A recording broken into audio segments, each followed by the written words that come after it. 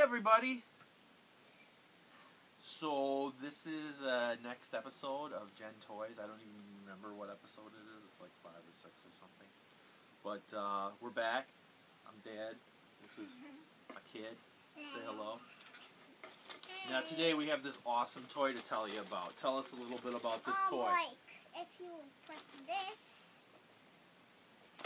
you can see it on the back right here.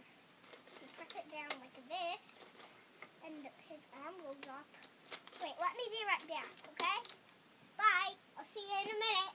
So while he's back, or while he's gone, let me tell you a little bit more about this guy. Um, this guy uh, is from Imaginext. He's brand new, as far as I know. Although we got him in a clearance at Target for like seven bucks. But the cool thing about this, in Imaginext, if you don't know anything about it, it's kind of like um, these guys are really conscious, or th- these designers are really good about uh, thinking back to play sets when they were kids. Um, so there's a lot of Master of the Universe kind of actions on these. Just for example, like a button to use a hand fist. Although I think that was a Thundercats thing.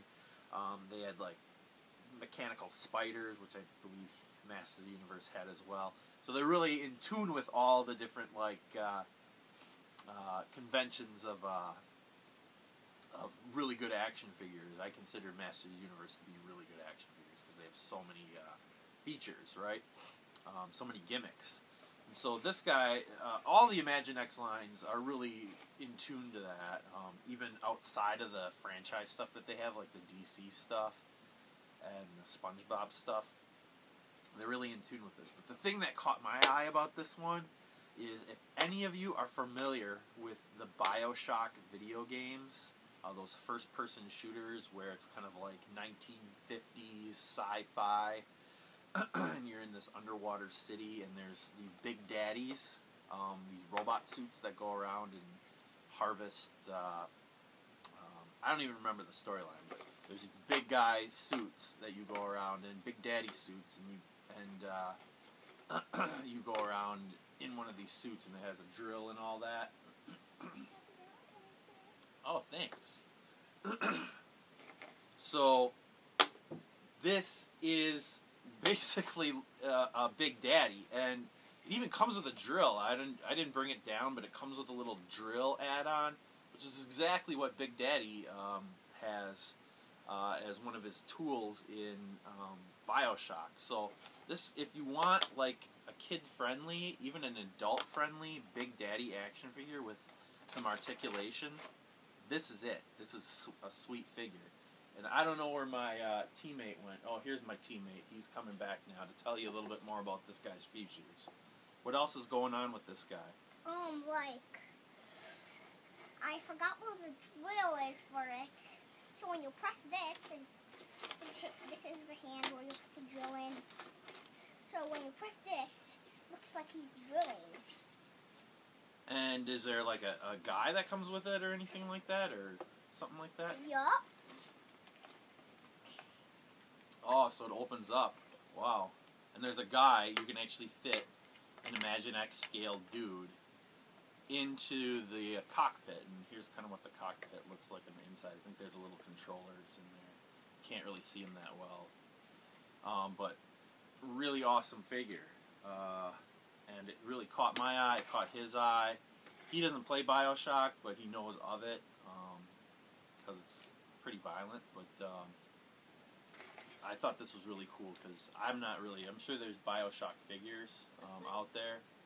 Well, that's kind of close, but it's another Imaginext type No. thing. Not that. You can pop it in if you want to the screen. And that is the Batman weirdo thing. It's just another Imaginext uh, toy, and it just gives It, you. it, it's a it's a robot, but it's a robot, but this robot is like a little bit bigger. You kind of get the sense of how in tune they are with like making things playable, um, and that again has a lot of articulation. This can come off of him. And they're It can come off of him, and there's like little flippers. yeah, it's like and that's the DC franchise that they work with too. And this is awesome too because I I think it's three and up. Imaginext is three and up probably. But I mean, I think this beats the toilet paper roll rule where it doesn't. If you can stick something through a toilet paper roll, um, it's not safe for an infant. Um, but these guys are a little bit too beefy, I think, to fit through a toilet paper roll. And if I'm not, if I'm wrong, I'm sorry. I, I apologize. But I know he was playing with Imaginext before he was three, and we didn't have no problems. As long as you play with your kids and monitor what they're doing, play all you want. Go nuts, right? Just don't give them shuriken or anything like that, right? Mhm.